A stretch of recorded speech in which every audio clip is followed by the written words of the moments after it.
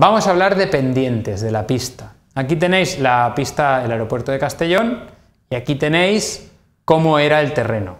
Obviamente se podía haber hecho completamente plana la pista, pero claro, si tuviéramos, fijaos que aquí habrán tenido que rellenar en esta zona y aquí habrán tenido que desmontar.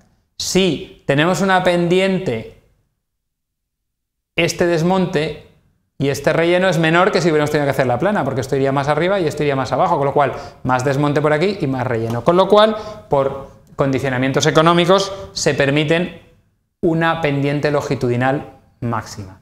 Esta pendiente longitudinal se calcula en el eje mm, restando la elevación máxima menos la elevación mínima. Y en aeródromos, en pistas de clave 3 o 4 el máximo del 1% y del 1 o 2 el máximo del 2%. Además, hay que cumplir una pendiente local máxima, no ya la elevación máxima menos la mínima, sino en cada trozo una pendiente local máxima, que es, como veis, un poco mayor. En clave 4 el 1,25, pero en las zonas donde los aviones tocan, en Mm, pistas de clave 4 es de 0,8%. ¿Por qué? Porque en esa zona es necesario que esté más plano, es el sitio donde el avión va a tocar. Si estamos hablando de clave 3, tenemos una pendiente local máxima mayor de 1,5%. Pero en categorías 2 y 3 de aproximaciones de precisión nos vamos a lo mismo. El primer y último cuarto, 0,8, igual que en clave 4. Y en clave 1 esto no se aplica y tenemos una pendiente máxima eh, local del 2%, que es igual que la pendiente máxima total. Bien, además tenemos que mantener una distancia mínima entre dos puntos de intersección y esta distancia dependerá del cambio de pendiente. ¿vale? Además, la pendiente hay que redondearla. La pendiente no puede ser con forma de punta, sino que tiene que ser redondeada. ¿Esto por qué es? Pues lo de la, distancia es por visibilidad, para que nadie se puede quedar oculto, que no se vea desde aquí, pero también por comodidad, para que el avión no vaya igual que lo de la, curvatura de pendiente, no vaya dando saltos con los cambios de pendiente.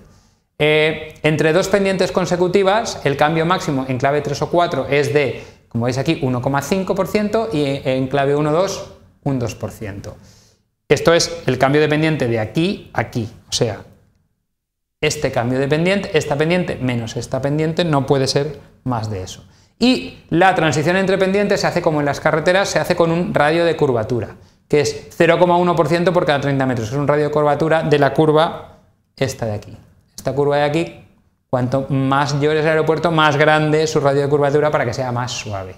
¿Vale? Pues aquí tenemos radio de curvatura en la clave 4 de 30.000, en la clave 3 de 15.000 y en la clave 1, 2 de 7.500. Eso significa que es, puede ser un poco más puntiagudo. La fórmula para la distancia mínima entre pendientes pues es una constante multiplicada por el valor absoluto de las dos diferencias de pendientes, siempre con un valor mínimo de 45 metros. esta constante es para clave 4 30.000, para clave 3 15.000 y para clave 1 2 5.000, con lo cual pueden estar más cercas. Vale, con esto terminamos las pendientes longitudinales.